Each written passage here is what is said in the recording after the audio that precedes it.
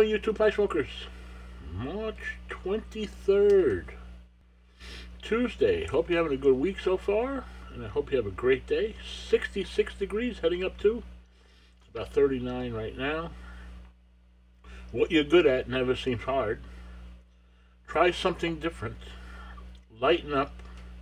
Be nice at all costs. Count on yourself. Be well, stay safe. Hope you have a great day.